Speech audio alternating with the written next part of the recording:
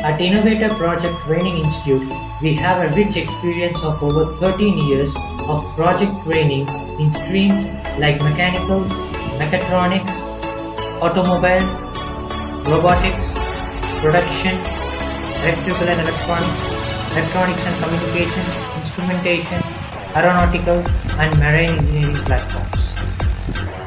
The primary objective of Innovator Project Center is to listen to the innovative ideas and opinions from the students, then train them towards the end to fulfill their dreams. The concept of making students' dream come true makes us special from other institutions. We have all the facilities like manufacturing and fabrication of equipment handled in house by experienced faculty. We have dedicated faculty who can teach the students from basics to give an in-depth knowledge of their project. Our institution has a factory setup nearby where students get to know the experience of the industry which helps them in the later. The students also get trained in the equipment that are not used for their project. We have a CNC center for precise and accurate manufacturing and it is located in Chinniyambada.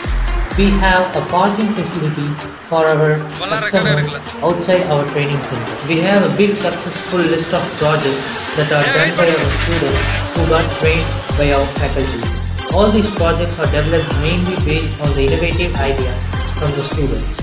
We help students not only in the manufacturing and fabrication part of the project but also in the report writing and paper publishing part. All these services are provided in a very, very less price in compared to other institutions and we see this institution as a service and not as a business. We have various students coming from various parts of South India like Kerala, Andhra Pradesh to our project center to complete their projects. Our project center is located in Neelambur, that too beside the Avinashi Road. Students from Kerala can easily reach our center by Palakkad to Coimbatore LNT bypass, which is 64 kilometers away and takes hardly one hour of travel with lot of direct buses